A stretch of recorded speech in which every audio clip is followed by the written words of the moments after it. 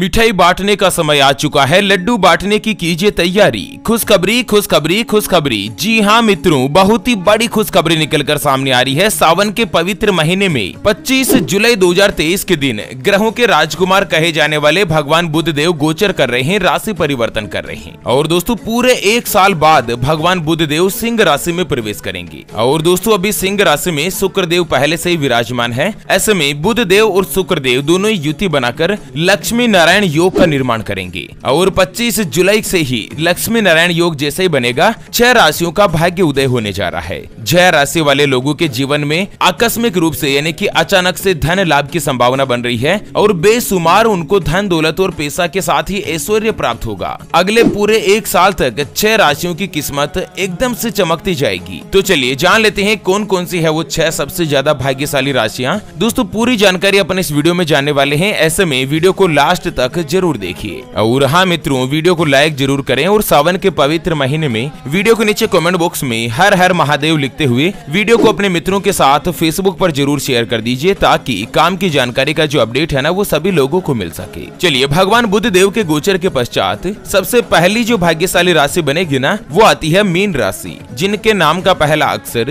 दी दू, थ जय दे, दो, चा और चे से शुरू होता है, उनकी मीन राशि होती है। दोस्तों 25 जुलाई के दिन, जैसे ही लक्ष्मी नारायण योग का निर्माण होगा, मीन राशि वालों की किस्मत एकदम से चमक जाएगी। लक्ष्मी नारायण योग का बनना मीन राशि वाले लोगों के लिए बहुत ही अच्छा और शुभ साबित माना जा रहा है। भगवान बुद्ध देव मीन राशि के छठे भाव में गोचर कर रहे हैं और ये छठा भाव धन, संपत्ति, पद और प्रभाव से जुड़ा रहता है। ऐसे में जिनकी भी मीन राशि है 25 जुलाई के बाद से ही आपको व्यापार में बहुत ही अच्छी तरक्की मिलेगी। आपको जमकर धन का लाभ होगा और धन कमाने के नए नए रास्ते भी बनेंगे। आपको बड़ी सफलता भी मिलेगी करियर में लाभ होगा। और इसी के साथ लक्ष्मी नारायण योग से आपको प्रमोशन और इंक्रीमेंट भी मिलेगा। अगर आप कोई भी अच्छी नौकरी की तलाश कर रहे हैं तो आपकी यह तलाश भी पूर्ण होगी। करियर में आपको शानदार ग्रोथ मिलेगी। आपकी इनकम बढ़ेगी और आर्थिक समस्या अगर कोई भी चल रही है, धन संबंधी प्रॉब्लम चल रही है ना तो वो दूर होगी।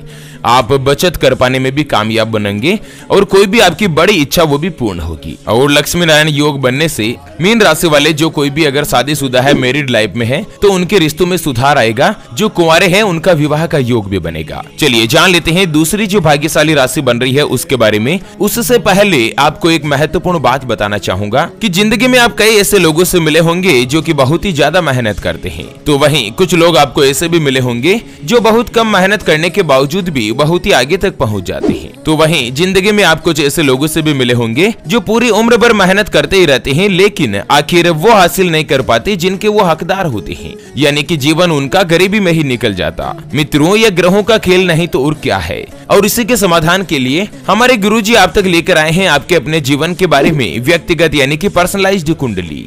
जिससे आप घर बैठे यह पता लगा सकेंगे कि आपके नव ग्रह आपके बारे में क्या कहना चाहते हैं। क्या आपकी कुंडली यानी कि किस्मत में कोई दोस्त तो नहीं? कोई ग्रह आपके लिए कमज़ोर तो नहीं? उसको मज़बूत करने का उपाय क्या है? आपका भाग्य उदय कब होगा? जीवन में अच्छे दिन कब आएँगे? नौकरी या व्यापार किसमें आपको ज़्यादा तरक्की मिलेगी? कौन सा व्यापार आपके लिए सबसे अच्छा और शुभ फलित रहेगा? उसके बारे में कंप्लीट जानकारी हम आपको कुंडली रिपोर्ट में बताने जा रहे हैं, जिसको अभी जो आप ये स्क्रीन पर नंबर देख पा रहे हैं ना, उसके ऊपर व्हाट्सएप पर संपर्क करके आप हमारे गुरुजी से बात कर सकते हैं और अपने भविष्य की कुंडली के बारे में जान सकते हैं। और हाँ मित्रों, कुंडली बनवाना या गुरुजी को कुंडली दिखाना फ्री नहीं होता है। इसके लिए दो सौ इक्यावन रूपए की फ़ीस देनी होती है। और फ्री में थोड़ा बहुत इसे कुछ भी नहीं बताया जाता। ऐसे में फालतू फ़ोन करके अपना स्वयं का और गुरुजी का दोनों का समय खराब मत कीजिए। अगर आपकी कोई भी समस्या है जिसका आप समाधान चाहते हैं जैसे की व्यापार में आपको लगातार नुकसान हो रहा है, घर में धन की कमी बनी रहती है, या आपके ऊपर कर्ज हो चुका है जिसको आप चुका नहीं पा रहे हैं, या आपका विवाह का योग नहीं बन रहा है। बहुत जगहों पर आप रिश्ता देख देख कर आखिर थक चुके हैं, परेशान हो चुके हैं, लेकिन कहीं पर भी कोई भी रिश्ता फाइनल नहीं हो पाता। आपको संतान का सुख नहीं मिल रहा है,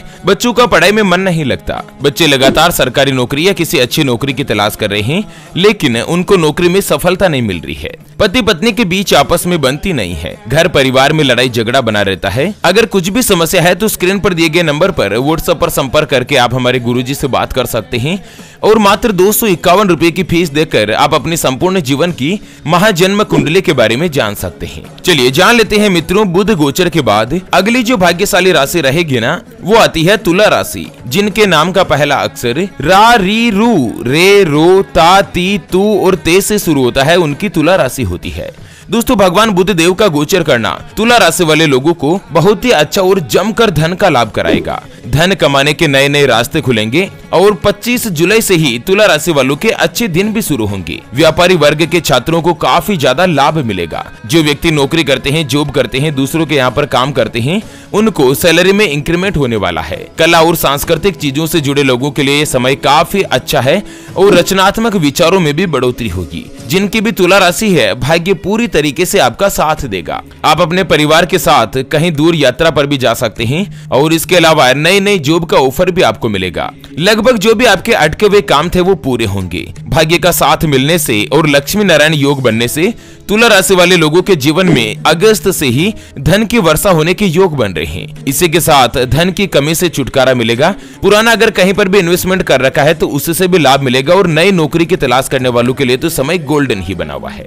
चलिए, अगली जो भाग्यशाली राशि रहेगी ना, वो आती है कन्या राशि, जिनके नाम का पहला अक्षर टो, पा, पी, पू शैर पे और पो से शुरू होता है, उनकी कन्या राशि होती है। आपको बता दें, मित्रों, कन्या राशि वाले लोगों के लिए लक्ष्मी नारायण योग का बनना बहुत ही अच्छा और शुभ साबित होने वाला है। आपकी इनकम में, यानी कि आमदनी में बढ़ोतरी होने के संकेत है और दोस्तों, कन्या राशि वाले बुद्ध देव के बारहवें भाव के स्वामी होते हैं। ऐसे में लक्ष्मी नारायण योग बनने से आपका विदेशों में संपर्क बढ़ेगा और विदेशी बिज़नेस से आपको लाभ भी मिल सकता है। भाग्य का पूरा साथ मिलने वाला है। परिवार के साथ आपका समय अच्छा बीतेगा और आपका जो वैवाहिक जीवन, आपकी जो मेरिड लाइफ है ना, उसमें भी खुशियाँ ही खुशियाँ आने वाली है। जो विद्यार्थी है, जो प्रतियोगी परीक्षा की तैयारी कर रहे हैं, उन लोगों को सफलता की प्राप्ति होगी। और वहीं जो छात्र है, उनको शुभ समाचार मिल सकता है। इस दौरान अगर कन्या राशि वालों का कोई भी परीक्षा परिणाम आने वाला है ना तो वो तो आपके लिए सफलता के चार चाँद ही लेके आएगा। जिन लोगों का कोई भी पुराना कानूनी मसला चल रहा है ना तो यह उनका भी समाधान निकाल सकता है।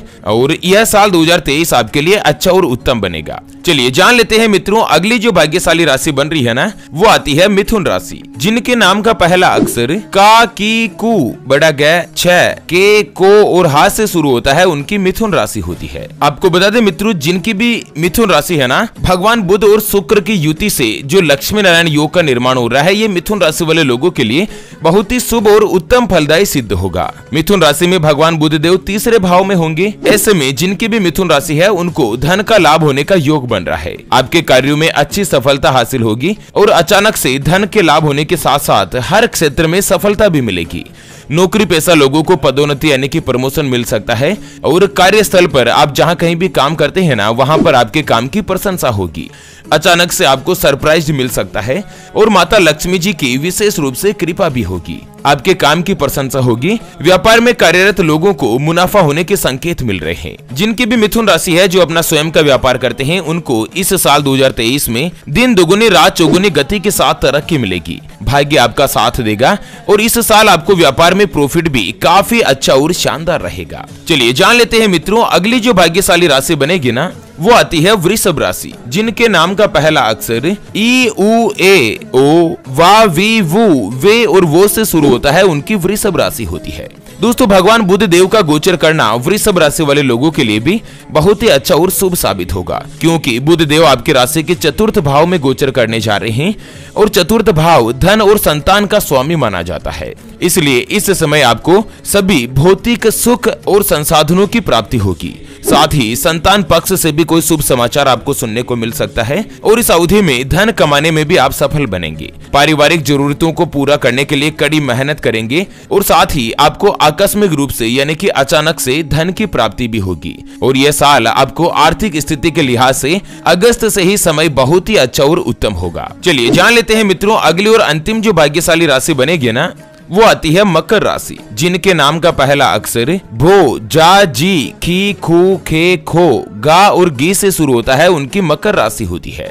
दोस्तों, मकर राशि वाले लोगों के लिए भगवान बुद्ध देव का गोचर और लक्ष्मी नारायण योग का बनना आपके लिए बहुत ही अच्छा और अनुकूल साबित होगा। क्योंकि बुद्ध देव आपकी राशि के आठवें भाव में संचरण करेंगे और साथ ही छठे और नवम भाव के स्वामी भी होते हैं। इसलिए इस समय रिसर्च और गणित से जुड़े लोगों को लाभ होगा। इस दौरान आपको किस्मत का साथ भी मिलेगा और वहीं बुद्ध देव के शुभ प्रभाव से कोई भी अच्छा इन्वेस्टमेंट या कोई भी संपत्ति खरीदने का मौका भी मिलेगा। इस अवधि में कोई भी आप नया बिज़नेस शुरू कर सकते हैं, जो कि आपको आने वाले समय के लिए फ़ायदा देगा। और इस साल आपकी जो लव लाइफ है, यानी कि प्रेम संबंध है, वो भी मधुर बनेंगे। अगर आप कुमारे हैं सिंगल है तो आपका विवाह होने का योग बनेगा। और साथ ही, अगर आप पहले से ही शादीशुदा है ना तो दोस्तों पति पत्नी के बीच आपसे रिश्तों में भी सुधार आएगा कोऑर्डिनेशन प्रॉपर और उत्तम बनेगा। तो चलिए, इसी के साथ फ़िलहाल के लिए इस वीडियो को यहीं पर देती है विराम। फिर से होंगे हाजिर एक और नई और काम की जानकारी के साथ। तब तक के लिए ओम नमः शिवाय। जय श्री कृष्णा। जय श्री राधे मित्रों।